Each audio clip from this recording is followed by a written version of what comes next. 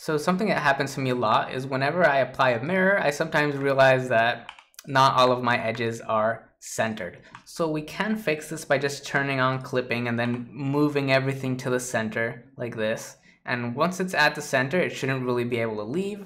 But because I usually have to do this multiple times per session, particularly when I'm retopologizing, I just made a script to automate that. So if I want to move everything I selected to position X 0, I would press Control Alt X. And if I want to do that for the Z axis, Control Alt Z.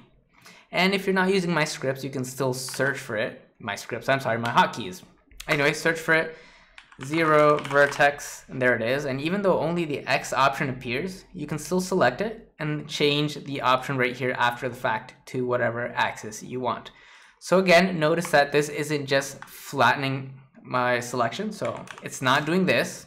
I mean, it is, but it's also moving things all the way to the center.